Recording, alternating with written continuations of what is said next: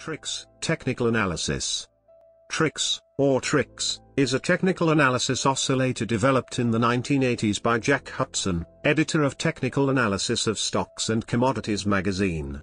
It shows the slope, i.e. derivative, of a triple smoothed exponential moving average. The name TRIX is from triple exponential. TRIX is calculated with a given N-day period as follows. Like any moving average, the triple EMA is just a smoothing of price data and, therefore, is trend following.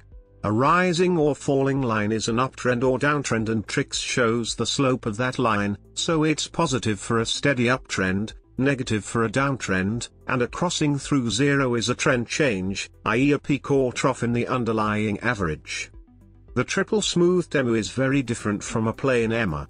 In a plain EMA the latest few days dominate and the EMA follows recent prices quite closely, however, applying it three times results in weightings spread much more broadly, and the weights for the latest few days are in fact smaller than those of days further past. The following graph shows the weightings for an N equals 10 triple EMA, most recent days at the left.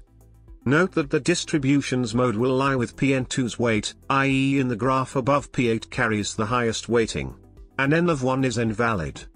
The easiest way to calculate the triple EMA based on successive values is just to apply the EMA three times, creating single, then double, then triple smoothed series. The triple EMA can also be expressed directly in terms of the prices as below, with P0, backslash display style P0, today's close, P1, backslash display style p1, yesterday's, etc., and with f equals 1 minus 2 n plus 1 equals n minus 1 n plus 1, backslash display style f equals 1 2 backslash over n plus 1 equals n1 backslash over n plus 1. As for a plain EMA, the coefficients are the triangle numbers, nn plus 1 slash 2. In theory, the sum is infinite, using all past data, but as f is less than 1 the powers fn, backslash display style f to the power of n, become smaller as the series progresses, and they decrease faster than the coefficients increase, so beyond a certain point the terms are negligible.